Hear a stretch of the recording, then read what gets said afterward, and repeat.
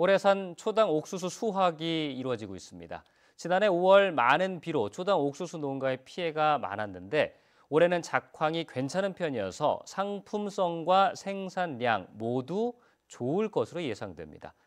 현장 연농정도에서 다녀왔습니다.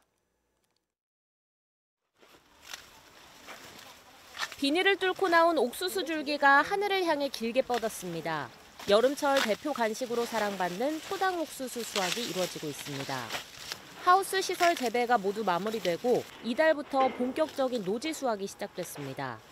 지난해 옥수수 농가 피해가 커서 우려가 많았지만 올해는 작황이 좋아 농민들의 표정이 밝습니다. 평당 10개 상품은 나왔으니까요. 저희는 늦게 심은 게 없어서요. 그 초반에는 지금 상태로는 직거래 가격이 아주 좋습니다. 초당 옥수수 품질에 가장 큰 영향을 미치는 요인은 수정 시기인 5월에 이어지는 날씨입니다. 이때 비가 많이 내리지 않아야 수정이 잘 이루어져 생육 상태가 좋습니다. 올해는 5월 날씨가 좋아 초당 옥수수 품질이 좋았고 우려했던 열대 거세미 나방 피해도 적절한 방제로 예방할 수 있었습니다. 올해 도내 초당 옥수수 재배 면적은 210헥타르로 지난해보다 20%나 줄어들었지만 작황이 좋아 생산량은 오히려 증가할 것으로 전망됩니다.